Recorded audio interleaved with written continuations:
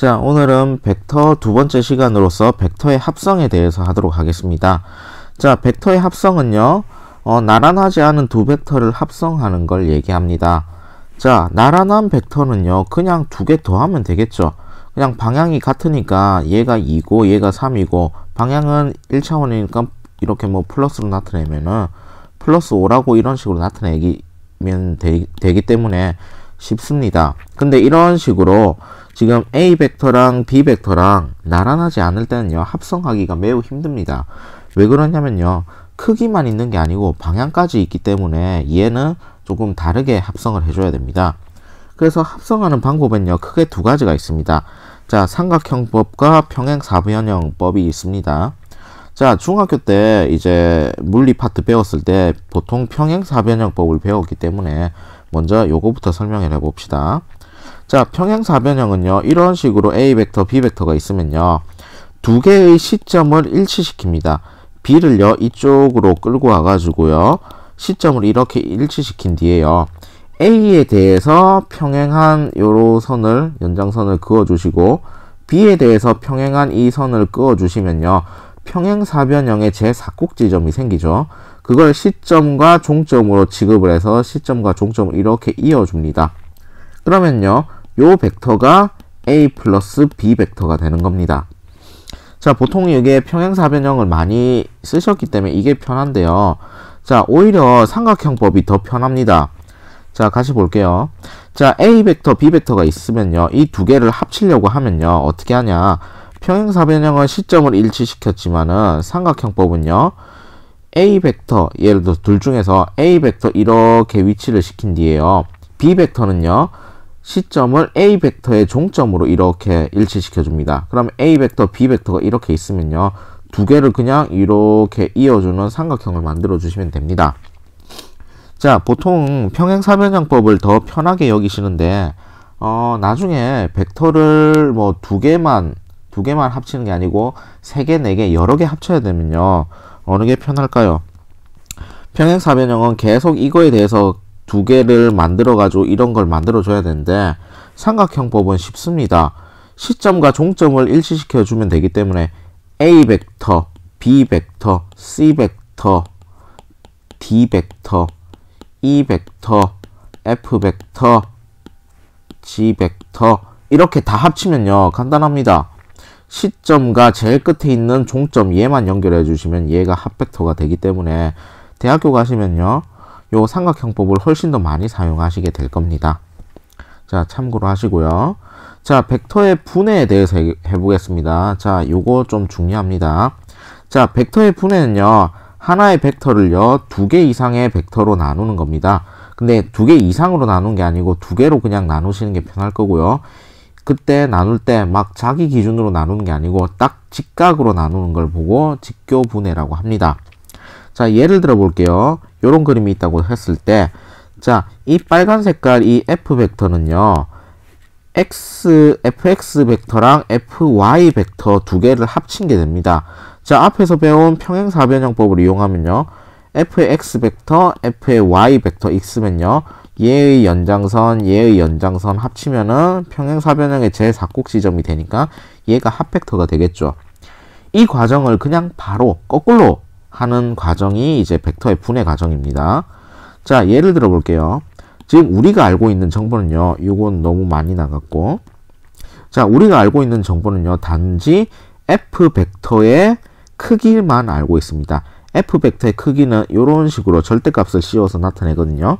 그 말은 f 벡터의 길이만 알고 있고요.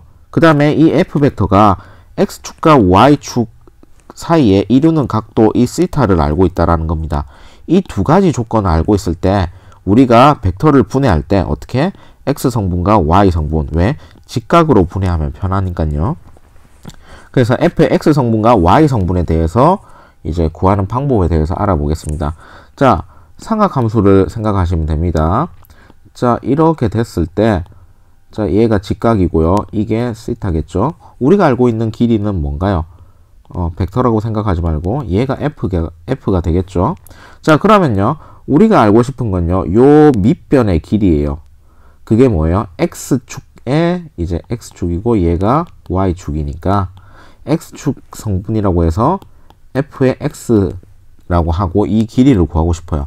그럼 우리가 이제 사, 이제 삼각함수를 통해서 알 수 있는 건 어떻게 돼요? 우리가 알고 있는 성분은 f니까 이거 곱하기 이거분의 요거 하면은 요거 나오죠. 다시 이거 곱하기 이거분의 요거 이거 곱하기 이거분의 요거 하면은 요거 나오죠.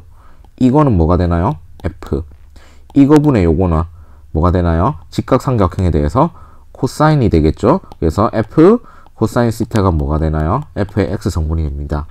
자 그럼 마찬가지로요. 이번에는 y 성분을 구해 볼게요. 자 그러면은 조건은 똑같습니다. 이렇게 되고요. 우리가 알고 있는 건 f의 길이고요. 이 각 세타고 얘는 90도입니다.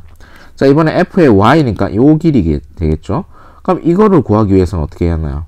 이거 곱하기 이거 분의 요거 하면 요거 나오죠. 이거 곱하기 이거 분의 요거 하면은 요거 나오죠. 다시 이거는 뭐가 되나요? f가 되고요. 이거 분의 요거 이거 분의 요거 하면 어떻게 되나요? 사인이 되겠죠. 그래서 f에다가 사인 스타 해준 게 f의 y 성분입니다. 자, 그래서 f의 y 성분은 어떻게 되나요? f 사인 스타.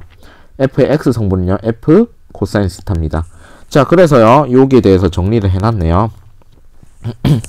자, 벡터식으로 나타낸 겁니다. 제일 첫 번째 식은. f의 f 벡터는요, f의 x 벡터, f의 y 벡터 두 개를 더한 거랑 같다라고 합니다. 근데 f의 x 벡터에 지금 보세요. 화살표가 안 붙었죠. 화살표가 안 붙었다라는 거는 얘는 스칼라를 얘기하는 겁니다. f의 x 벡터의 크기는 코사인 스타고 f의 y 성분은 f 사인 스타다. 그리고 요거는 뭔가요? 피타고라스 정리에 의해 가지고 이런 식으로 크기가 나타내진다는 겁니다. 자, 그러면요. 여기서 제일 중요한 게 있습니다. 자, 이 자료를 분석하는 게 제일 중요하거든요. 다시 한번 보겠습니다. 자, 빗면에서 이 물체가 어떻게 움직일 건지에 대한 겁니다. 자, 빗면에서는요, 이 물체가 받는 힘은 딱 두 가지밖에 없어요. 기본적으로 얘의 질량이 있으니까 아랫방향으로 중력 mg가 작용하겠죠. 그 다음에요, 물체가요, 이 빗면을 자꾸 내려 누르죠. 그럼 빗면도 기분이 나쁘니까 어떻게 하나요? 떠받치겠죠. 그게 뭐가 되나요? 수직항력 n이 됩니다. 자, 그러면요, 실제로 작용하는 힘은 두 가지밖에 없어요. 두 가지밖에 없어서 중력과 수직 항력 두 개밖에 없거든요. 이 두 개를 합쳐 볼게요. 평행사변형법을 이용하면 이렇게 해가지고 어, 이 성분이 나오죠. 근데 이 크기가 어떤가요? 일정한지 아닌지 아직은 잘 몰라요. 이것 때문에 힘이 생기기 때문에 얘가 어떻게 되나요? 힘이 있으니까 F는 MA에 의해 가지고 어떻게 생기나요? 가속도가 생기죠. 그래서 얘가 가속 운동을 하는 거예요. 근데 얘가 등가속도인지 아니면 뭐 가속도가 점점 커지는지 작아지는지 그걸 알아봐야 되겠죠. 그걸 분석하기 위해서 이제 힘을 이제 나눠 보겠습니다. 자, 그럼 우리가 알고 있는 요 기본적인 힘, 중력 mg가 있겠죠. 근데요, 얘를 분해하기 위해서는요, 어떻게 하냐면 좌표축을 잡아주시는 거예요. 자, 좌표축을 어떻게 잡아주냐? 내 마음대로 잡아주시면 됩니다. 어떤 기준에 따라서 내가 분해했을 때 깔끔하게 나오는 기준에 의해서. 자, 그럼 어떻게 되냐면요. 얘가 X축, 얘가 Y축이라고 잡으면요. 저 이 화면 안쪽으로 들어가는 게 G축이 되겠네요. 자, 이렇게 잡아도 상관없습니다. 왜? 우리는 직교 좌표계 나중에 이거 오른 나사 법칙에 의해 갖고 G축 위치만 잡아주면 이렇게 잡으셔도 아무 상관없거든요. 자, 이렇게 되면요. 이 중력을 어떻게 할 수 있나요? 요 방향 성분과 이 방향 성분으로 나눌 수가 있겠죠. 근데 보세요. 요 각이 이제 스타면요. 요 각이 스타예요. 자, 왜 그러냐면요. 얘를 이렇게 그냥 쭉 하면 어떻게 되나요? 그 다음에 얘도 쭉 하면은 이 각이 스타면요. 요 각이 스타겠죠. 스타겠죠? 왜? 동의각이죠. 그럼 얘, 이 각이 90도, 그 다음에 이 각도 90도가 되겠죠? 요, 여기가 이루는가? 그래서 무슨 관계냐면요. 억각 관계입니다. 억각 관계. 자, 조금 다시 지우시고. 자, 그러면요. 자, 이 각이 시타니까, 자, 우리 아까 배웠던 거, 그러면 삼각형을 만들어서요. 얘가 어떻게 되나요? 90도가 되죠? 우리가 알고 있는 길이는 이 길입니다. 근데 우리가 알고 싶은 건요. f의 x 성분과 f의 y 성분을 알고 싶어요. 자, 그랬을 때 어떻게 되나요?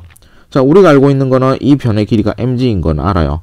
그럼 이거 곱하기 이거 분의 요거 하면 요거 나오죠. 그럼 어떻게 되나요? mg 곱하기 mg 요렇게 되니까 뭐가 되나요? 코사인이 되겠죠. 그래서 f의 y 성분은 mg 코사인 스타가 되고요. 자, 우리가 알아야 될 거 이제 요 x 성분이죠. 이거 곱하기 이거 분의 요거 하면 어떻게 되나요? 사인이 되죠. 그래서 얘는 mg 사인 시타가 됩니다. 자, 근데 이 물체가 어떻게 되나요? 갈 때 그냥 수평 방향으로만 이동하죠. 이 빗면을 따라서. 그 말은 뭐야? f의 y 성분과 수직 항력은 어떻다는 거야? 크기가 같다는 거예요. 그래서 얘네들은 어떻게 되나요? 얘네들은 크기가 같으니까 운동에 영향을 미치지 못하는 겁니다. 그럼 남은 성분은 뭐예요? F의 X 성분, mg 사인 시타만 어떻게 되나요? 얘만 살아남아가지고 얘가 뭐가 되나? F는 MA라서 A가 어떻게 되나요? G 사인 시타가 됩니다. G는 중력 가속도고 시타는요. 이 빗면의 기울기가 일정하죠. 그렇기 때문에 얘는 가속도가 언제나 일정합니다. 그래서 이 운동은 무슨 운동이라고요? 등 가속 운동이에요. 그래서 이걸 통해 가지고 얘가 등가속 운동인 걸 분, 분석하기 위해서는 벡터의 분해 요게 가장 중요합니다. 자, 그래서 오늘은 벡터의 합성과 분해에 대해서 알아봤습니다. 수고하셨습니다.